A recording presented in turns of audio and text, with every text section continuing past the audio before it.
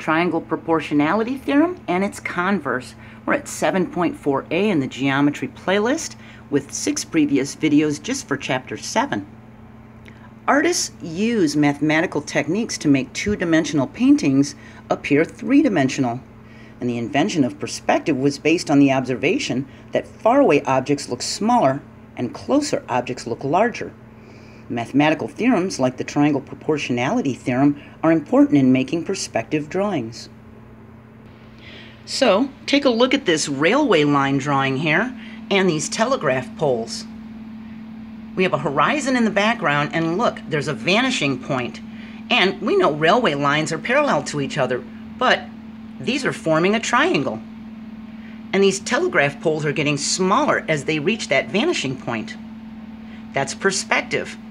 And look at this rope bridge. This rope bridge is getting smaller as it gets farther away. And we can kind of see a triangle here, can't we?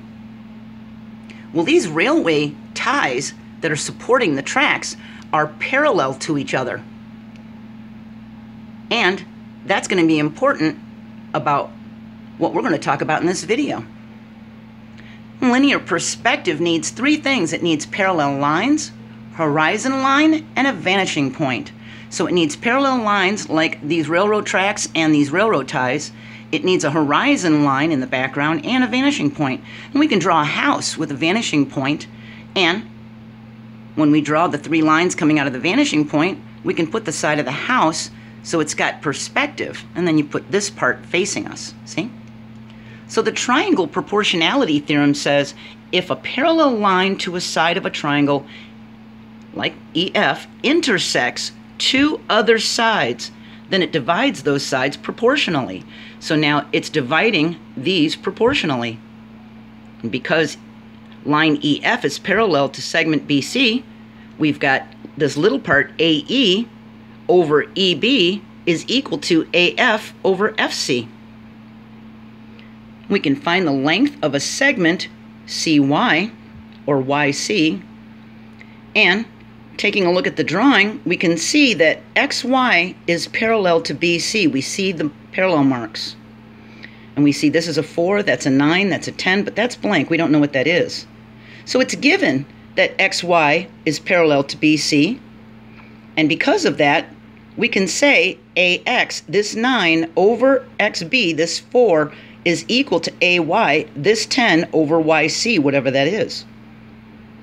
And we have to make sure if we're making that the numerator, then that's got to be the numerator, okay? So that they're corresponding. So we put the 9 over the 4 equals 10 over the cy, substituting in the values, and we can do the cross products property. We can do 9 times cy is equal to 4 times 10.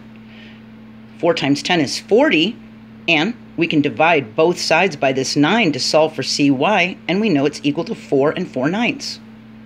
You could also probably leave it as 49, 49ths if you want to, okay? So we know this little section here now. Now the converse of the triangle proportionality theorem, if you remember, a converse swaps the hypothesis and the conclusion of the other theorem, okay? So this one said if these, because these lines are parallel, then they're proportional. This one's gonna say because they're proportional, the lines are parallel, okay? So it says if a line divides two sides of a triangle proportionally, then it's parallel to the third side. And we can verify that segment MN is parallel to segment KL. We want to make sure we've got these in the correct order with corresponding sides. So we can start with J and make the 42 the numerator over the 21. Then we can do the 30 as the numerator over the 15 so that they're in the right place, okay? When we do the math, we find out that this one is a 2 and that one is a 2. They're the same. They're proportional. And since the Jm over Mk is equal to the Jn over Nl, we can say Mn is parallel to Kl by the converse of the triangle proportionality theorem.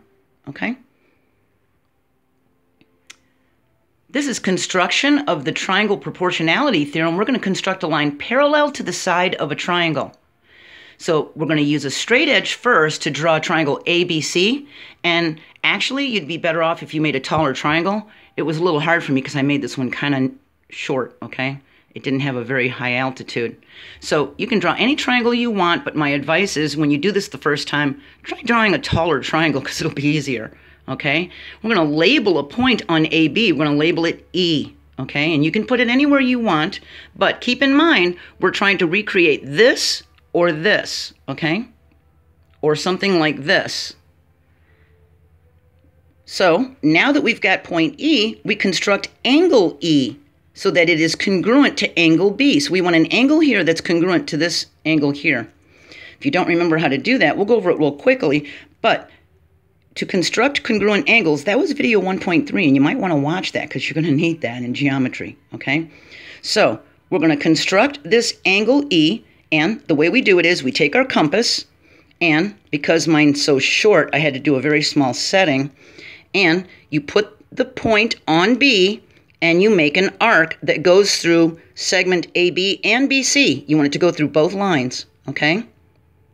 Then I take my compass and I measure that distance.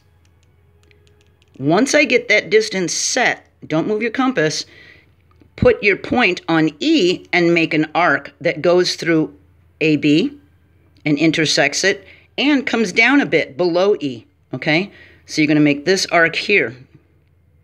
Once you've got that arc made, put your point where that new intersection is and make a little arc there. Then you're going to take your straight edge and you're going to make a line going through E and that intersection all the way through. Now we've created point F.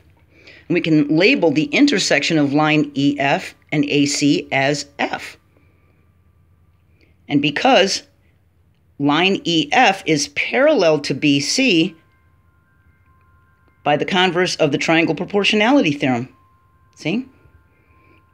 So we made a line parallel to BC. So that theorem says if a line divides two sides of a triangle proportionally, then it's parallel to the third side. Okay. Our next lesson is going to be about the two transversal proportion proportionality corollary. That's 7.4b. Then we're going to do triangle angle bisector theorem 7.4c. So this is the second part of our lesson, and that's the third part of our lesson. So you should watch both of those before we move on to the next lesson. Okay? So try practicing this. You want to get good with a compass. And now you know about a little bit at least about Brunelleschi and linear perspective. And try clicking on that link because you can even search Google for linear perspective and you'll see art before linear perspective was used and how strange it looks, and then afterwards, how much more realistic it looked. And some very famous artists, like Donatello, used Brunelleschi's technique. All right, I'll see you next time. Bye.